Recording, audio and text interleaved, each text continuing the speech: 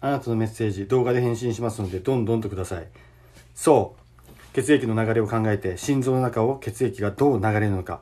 羽房に入って、右室に行って、左房に行って、左室に流れる。左室が動かなくなると、どこに圧力が溜まってきますか？車の流れで考えると、出口、出口でですね、動かないんですよ。えー、と、そこで止まってるわけですね。そこで渋滞が起きます。はい、渋滞が起こると、そこの圧力は上がっていきます。もう一度考えましょう。左室で動かなくなるんです。動かなくなると、血液が流れなくなるとどうなるかというと、そこの圧力が上がります。そして、左室の圧力が上がった後に、その後には、左房の圧も上がっていきますよね。それから、肺の圧も上がるんです。つまり、左房、左神経が上がっていくということなんですね。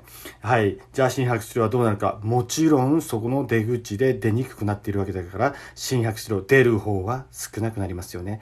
これが左室不全なんです。